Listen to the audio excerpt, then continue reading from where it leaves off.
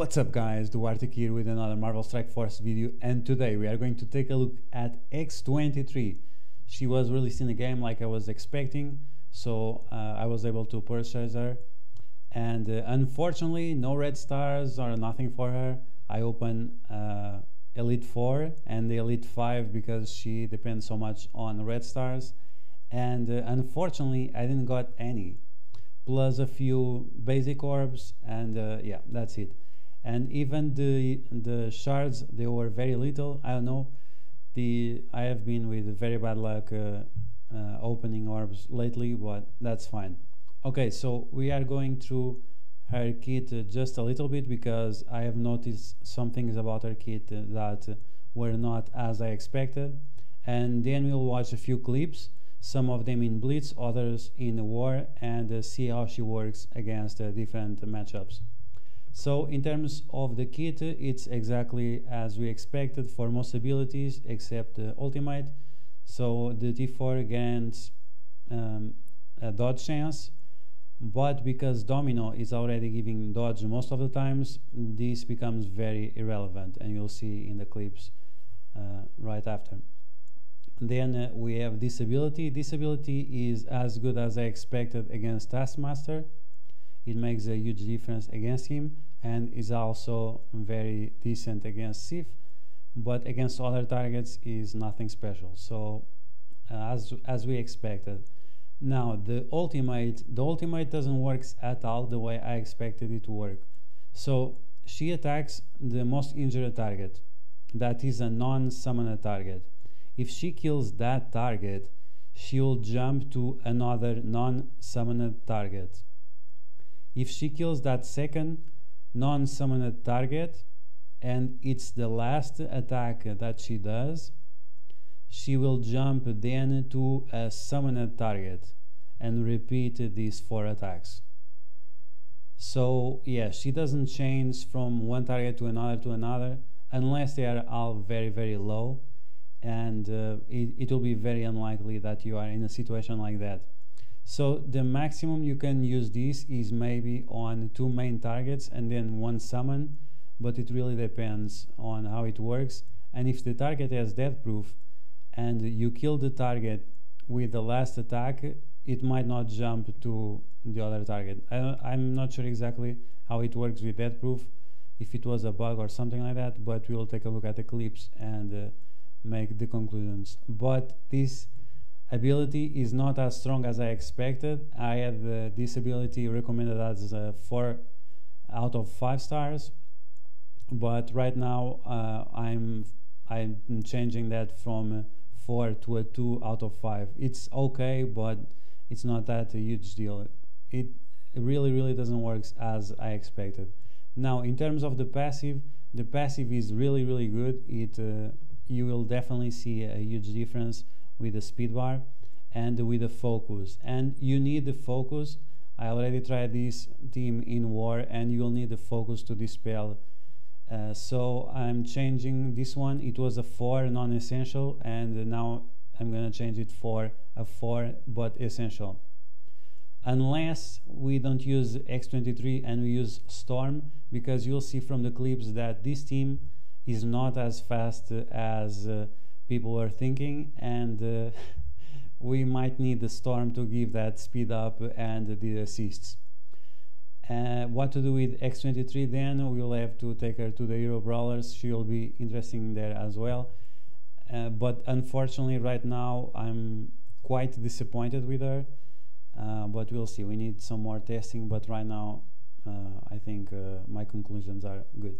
Okay, so let's go into the clips and First, you're to watch the clips on Blitz, and then we are going to watch the clips on War. Okay, so the first clip is a punch across against Asgardians on Blitz. So obviously it's not to be Asgardians on its full potential, but we can have an idea of this team. So they start by focusing on Cable, and that's terrible. You, you don't want that. Uh, hopefully we want uh, Deadpool to be target. Then I tried to apply disrupt on Sif. Unfortunately, it didn't work. Then I ability block Hela to make sure I would delay her ultimate. She still target uh, Cable and uh, he's dead. So then we apply the heal block on everyone so they can't heal up.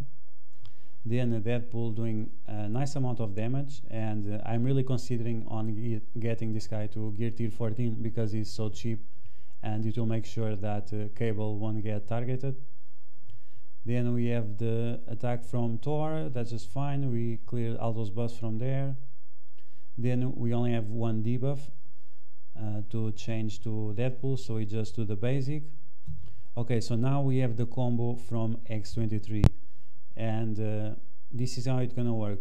She's gonna kill Thor, then she will jump to Heimdall, and because she doesn't kill Heimdall, she will not jump to Greg, which it's uh, a little bit lame, but I guess I, I don't understand if it was supposed to work like this or not. But she did the five attacks on the targets, and uh, the Greg is still there. So then we just had to finish double tap there from uh, Deadpool. She dodged. She dodged even that she didn't have the the buff, some kind of ghost buff or something like that. Now Negasonic with her shield, Deadpool finishing Hela. Uh, X23 healing up because she's getting so much turn meter as you guys saw. And now I just have to finish up Sif. So it was okay, but unfortunately um, I expected the ultimate from X23 to work differently. And uh, yeah. So if you are able to kill the targets and lower them uh, under 50%, uh, sure, that uh, will make her go faster, but um, might not work. Now, I wanted to see if uh, we are going to face this team, and I wanted to see if uh, if you attack a minion that is not a summon, if uh, she's still going to jump or not, and she is. So let's just jump a little bit. We are facing that team, so it's also a punch across. But it's a uh, but it's a team of randoms. So we apply the disrupt on Hulk, so he is not on the way. We apply ability block uh, on Medic, so she doesn't heals up. Basic there. I just wanted to lower all of them to make sure we would be able to kill uh, Medic with uh, X23 charge with the cable and now we have our ultimate ready and let's see how it works.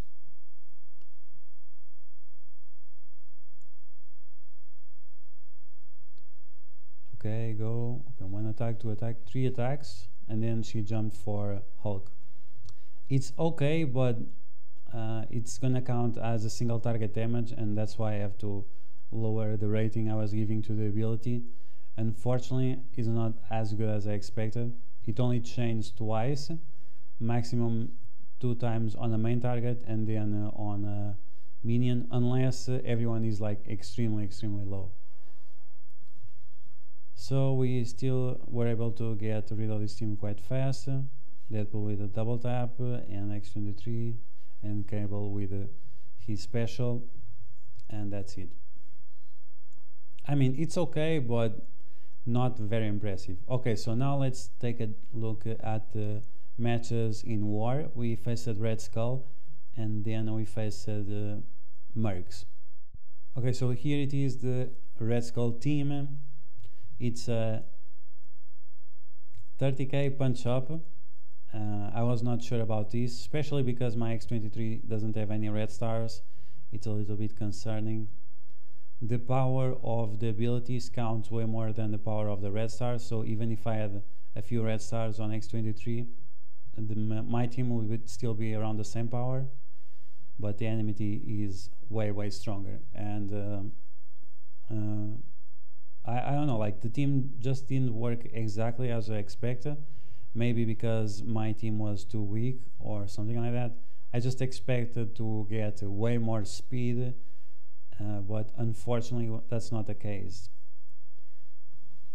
Okay, there I did a single target because uh, I'm I was saving the ultimate in case they get some defense up or something like that.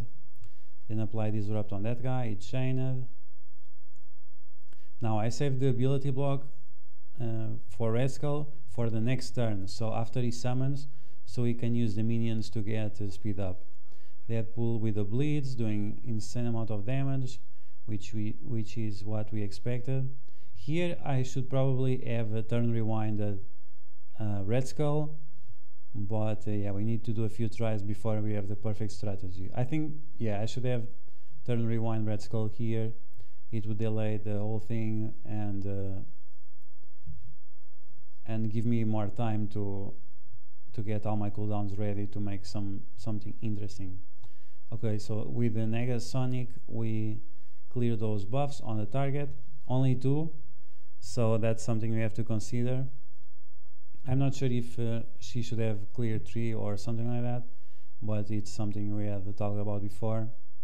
So here, uh, is it here when I try? No, it's not yet. Here is when I ability block Red Skull. If I had the turn rewind with the cable before, that will give me a lot more time to then ability block him and so on. But the fact that this team doesn't have any slow or speed up, it's concerning if you are facing teams that uh, uh, will benefit from you not having that, which is the case. So yeah, we don't have many debuffs, so nothing to transfer for uh, Deadpool. Now he's going to finish that guy. Now we have the ability block. And uh, X23, she got the speed up. And now it's when we use the ability. Now she killed the target, and then nothing happens. Uh, so I guess she does from 4 to 5 attacks and then uh, if you kill and if there is a summon then she jumps to uh, the summon or she jumps to another target in case you kill and you do the remaining attacks so yeah the ability is way less uh, good than I, I expected Cable getting destroyed his shield uh, uh, is not enough for him to survive. Then I had a charge. Uh, I tried to kill that one uh, so we can get some more turn meter or something like that.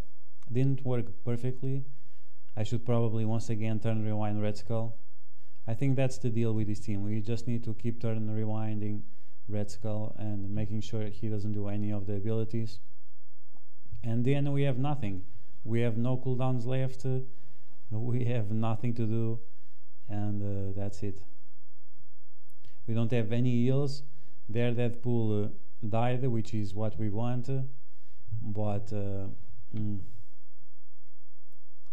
Negasonic uh, handling a lot of damage there we kill uh, another one now Domino is is dead and uh, that's pretty much game over we have nothing left. Like we have, we have no cooldowns. Deadpool only gives energy to Cable, and uh, that's it. Like we don't kill them fast enough uh, for the energy to be on a flow, and uh, it's only for Cable. Like I mean, Cable is great, but he's not the whole team. So yeah, that's it. And we almost time it out. So yeah, I think it might work, but it needs the strategy needs to be polished, and uh, I need to get that uh, T4 on uh, Deadpool's passive. Okay, so now let's take a look at uh, the other fight against Mercs. Okay, so here we are. We have a 25k punch up so that's pretty decent. They are all uh, at tier 10, tier 11 and tier 9, so it's around the same. And they had the med bay up and I had the armory up. So it's sort of balanced.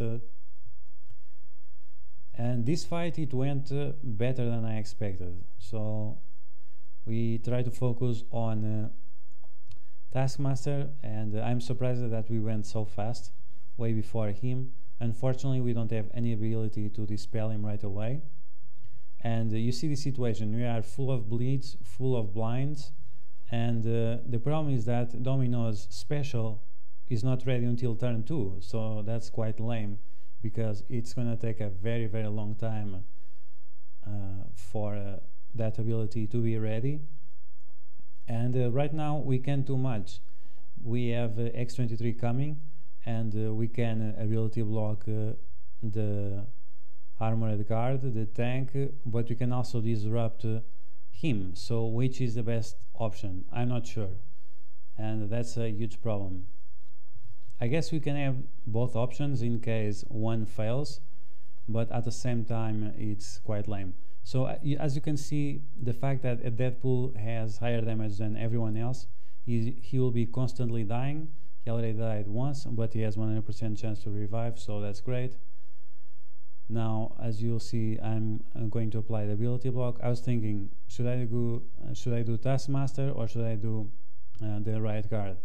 I should probably do Taskmaster because he's going to do the stun and apply the uh, offense down.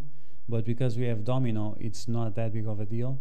She should have uh, the cooldown available after he does his ability.